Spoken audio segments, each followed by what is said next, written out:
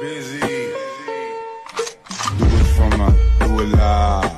Het is niet moeilijk voor je, doe het traag.